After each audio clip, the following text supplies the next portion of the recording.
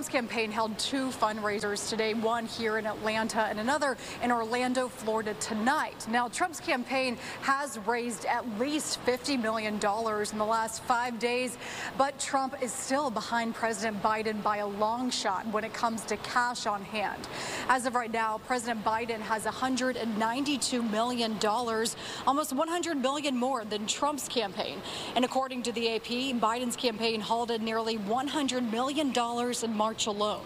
Now, Trump's campaign is now playing catch up, setting a record this weekend in Palm Beach as the most money ever brought in at a single fundraising event with $50 million, according to his campaign.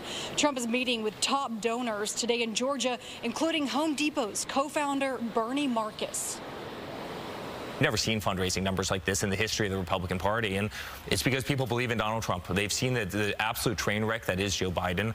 They know what's happening to this country. The, the Biden narrative is no longer working. In a statement this afternoon, the DNC continued to attack Trump's campaign by saying, quote, Donald Trump is once again fundraising with election deniers, end quote. Biden's campaign also pointed out that Trump's ongoing legal issues are becoming an expensive problem for the Republican Party and says that some of Trump's money is going towards legal fees now. Don, Scott. Line, thank you.